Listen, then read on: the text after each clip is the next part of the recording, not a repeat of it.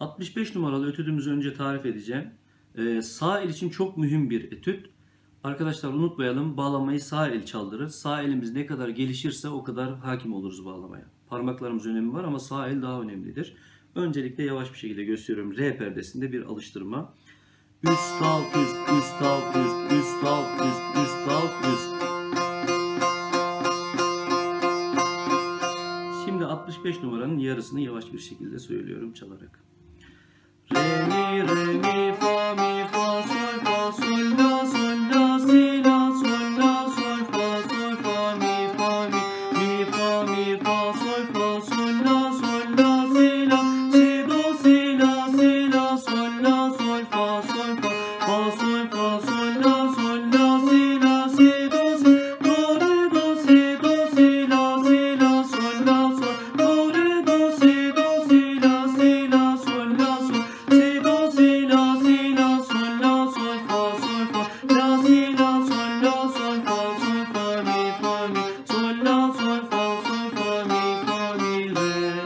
hızlandırıyorum şimdi.